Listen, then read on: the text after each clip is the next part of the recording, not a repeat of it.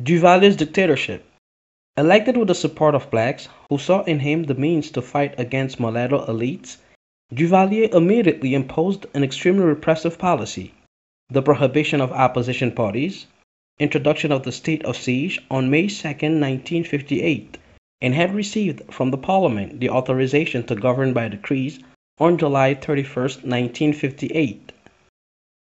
The Duvalier regime relied on a paramilitary militia the National Security Volunteers, named Tonton which terrorized the opposition and managed to stifle all resistance. Duvalier pronounced the dissolution of Parliament on April 8, 1961, and the United States suspended aid as a sign of disapproval. Faced with the opposition from part of the army, a military plot was thwarted on April 19, 1963, and from the Haitian exiles who tried several times from the Dominican Republic to provoke a popular uprising. Duvalier reinforced the repression. In 1964, he proclaimed himself president for life, and together with the Tonton Macoutes, launched a bloody campaign against the opponents. 2,000 executions in 1967. Duvalier left nothing to chance.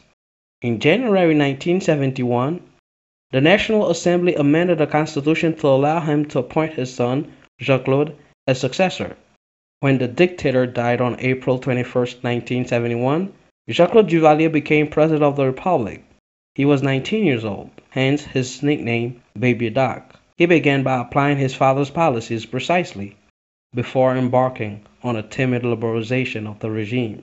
The repression and extreme poverty in which the regime maintained the population caused, from the late 1970s onwards, the exodus of the Haitian population to Florida and the Bahamas in particular. In 1966, a popular uprising overthrew Jean-Claude Duvalier, who fled to the south of France. The end of the Duvalier's era was not the end of the dictatorship. Immediately after his departure, a military junta led by General Henri Namphy took power.